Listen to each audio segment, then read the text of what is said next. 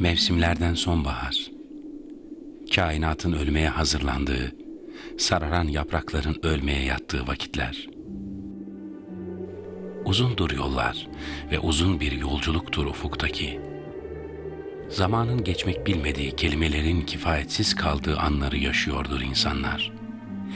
Dünyalık hazineler ellerin tersiyle itiliyordur.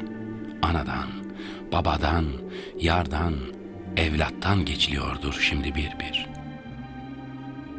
Bohçalarda hasret vardır.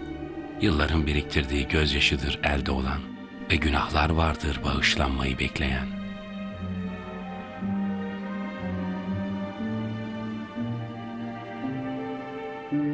Günahkar ruhların, kararmış nefislerin diriliş yolculuğudur bu. Çünkü yolculuk, yeryüzü şehirlerinin anasınadır bu sonbahar. O ise öpülesi taşı, toprağıyla kucaklamaya hazırlanıyordur şimdi insanlığı. Her bir taşında, toprağının her zerresinde hatıralar biriktirmiştir asırlardan kalma. Ve üstünden gelip geçmiş salih kullardan ilahi bir selam fısıldamayı bekler, hayırlar duymaya susamış kulaklara.''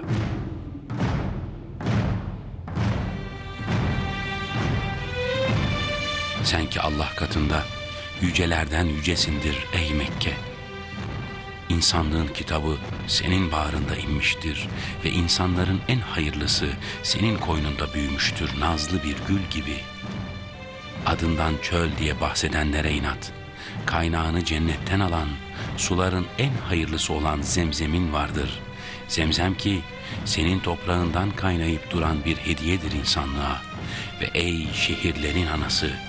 Senin bedeninde çarpar kainatın kalbi, ilahi bir mühür gibi konmuştur yeryüzüne Beytullah'ın. O Beytullah ki bağrında dikili duran kara bir sevdadır.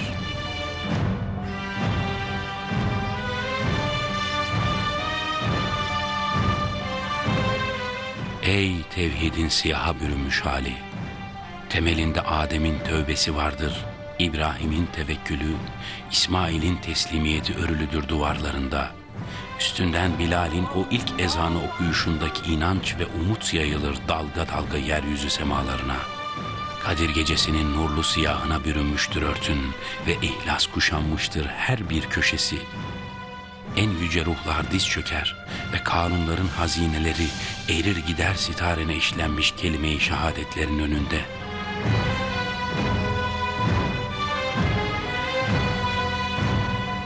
Ey aşkın siyahı, sen seccadelere kıble ve sen ki anınlardaki miraçtan kalma nursun. Sen gökyüzüne bin bir cümbüş ile yükselen göklere inat. Olduğun yerde asırlar ötesinden bir haberci gibi durursun. Hamurun Adem gibi topraktandır ve topraktan var edildiğini bildiğin içindir mütevazi oluşun.'' Sen ki gönüllerin pusulası, gösterdiğin her bir yön ilahi aşka çıkar.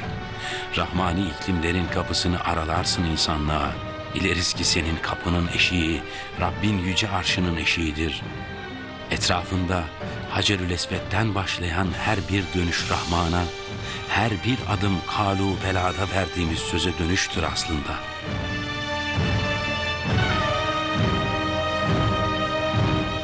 Ey beyti atik, öpülesidir taşın toprağın, öpmeye geldik. Maddeden kurtulup manaya erimeye geldik. Çağırdığın gibi dünyayı ardımızda koyup kefenlerimize sarılıp geldik. Gayri yakma demeyiz sana ey Allah'ın şerefli mabedi. Yak yakabildiğin kadar bil ki sönmeye değil yanmaya geldik. Gönlümüzde putlarımız var. Rabbin yüce huzurunda devirmeye geldik.'' kainat ölmeye yüz tutmuşken bu hüzünlü sonbaharda bizler huzurunda ruhlarımızı diriltmeye geldik. Bu sonbahar ki insanlığın şehadetlerle tekrar tekrar dirilişine şahit olacak. Kalpler arınacak Allah'tan gayrısından. Günahlar kurumuş yapraklar gibi dökülecek rahmet rüzgarları estikçe. Irklar, renkler ayrı olsa da aynı kelam için dönecek diller, yürekler birlikte çarpacak.'' Eller günahların affı için semaya aynı anda kalkacak. Ve ey Kabe, yalnız insanlar değil, Kainat lebbeyk, Allahümme lebbeyk diye dile gelecek senin huzurunda.